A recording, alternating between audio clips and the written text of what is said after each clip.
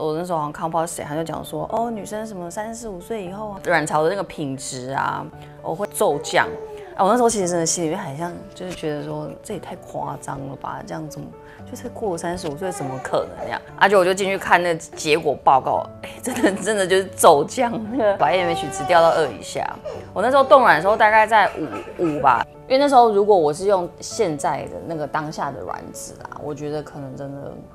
不管是值还是量，应该都都不好这样，所以那时候才决定说用用我就是冻的那些软来配对看看这样。